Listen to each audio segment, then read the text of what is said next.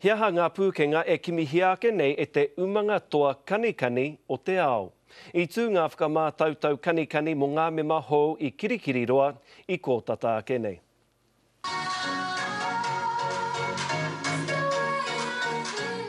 Te kanohi hōmiromiro a Parris Goebel te mata ngā kaiako kanikani o te ao. Kikī ana te whare i te hunga kanikani nō te raki o Te Ika-a-Māui.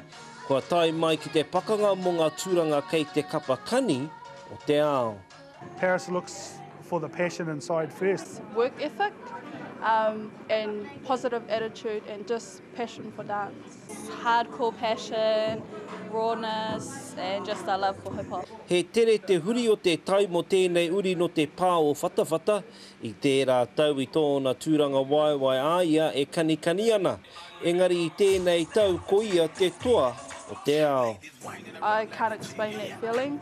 Um, just to represent our country was a big thing for me and then to bring home a gold medal and just, um, to me it was paying off all my hard work.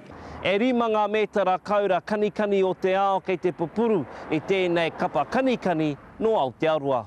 E toru o aua taitara me te mētara hiriwa i kapo mai i te whakataetae kanikani o te ao i tū ki Amerika i tērā tau ki Las Vegas. Just being part of the palace and taking away three golds and a silver was just amazing.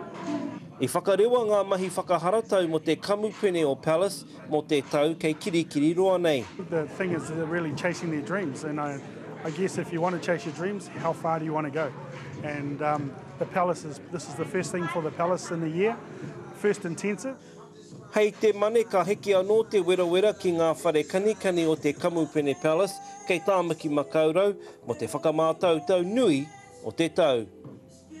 Potaka Maipi, Te Karere.